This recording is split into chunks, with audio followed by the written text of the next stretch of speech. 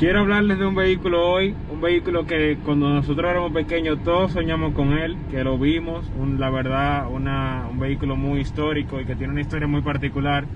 Particular porque surgió eh, diseñado, fue diseñado realmente para la milicia norteamericana y de ahí fue evolucionando a un nivel tal que el público lo deseó y la marca decidió crear una marca aparte para uso civil. Entonces, eh, la verdad que la marca ha pasado por altas y bajas, al punto tal que ya no se está fabricando en la actualidad. Se hicieron varios modelos, pero en la actualidad no se fabrica.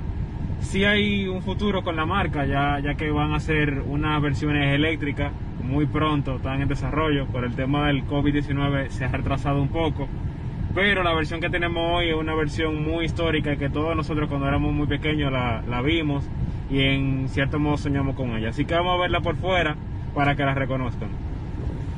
Y aquí la tenemos, es la Homer. Yo sé que todos la reconocen, la verdad que es un vehículo que marcó una época y que quedó en la infancia y en la mentalidad de mucha gente por lo que significó. En este caso tenemos la H2, que fue la versión ya 100% civil. Antes teníamos la versión H1, que era la versión que ya le expliqué ahorita, que fue diseñada eh, específicamente para el ejército y se usaba en guerra por el pedido de muchas personas, en, un caso muy específico, Arnold Schwarzenegger, el, el actor, en una película, él estuvo y vio el vehículo, se enamoró de él y lo pidió para él. Entonces ahí empezó la producción para uso civil y que se podía vender ya para andar en ciudad. Entonces después diseñaron la H2, que es esta, para que la pudiéramos usar en la ciudad y pudiéramos andar con ella sin ningún problema ni requisito. Entonces después surgió la H3, Fíjense que aquí tiene la, rueda de respuesto, como todo todo terreno. En este caso esta versión tiene poliuria, que es un tratamiento que ya le había aplicado anteriormente, que protege los metales, anticorrosión. Y fíjense el tamaño, un vehículo muy grande, americano, que es lo que más caracteriza a los vehículos americanos, el tamaño, la potencia, el rugido, un motor V8. Fíjense las suspensiones y demás, como se ve aquí abajo, todo diseñado como un buen todoterreno. Y en la parte frontal vemos que es bastante cuadrado porque fue heredado de la versión H1 que fue la versión de guerra que era así bastante ancha por un tema de seguridad grande, robusto, alto. Y esto, aquí, si se fijan, como el vehículo es eh, la versión H1, eso ya ahí no es completamente funcional, en la versión H1 sí. Como el vehículo es blindado, no pueden eh, abrir muchos espacios para que entre aire al motor o para que ventile.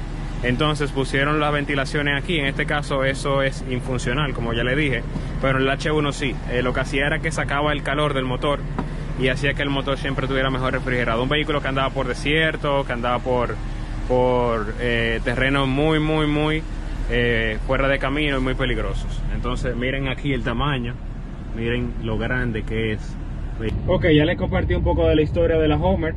Ahora compártanlo ustedes con sus amigos. Y la verdad que es muy chulo encontrarnos con un vehículo que ya no es producido, pero que sí va a haber una versión pronto en el mercado muy actualizada del mismo.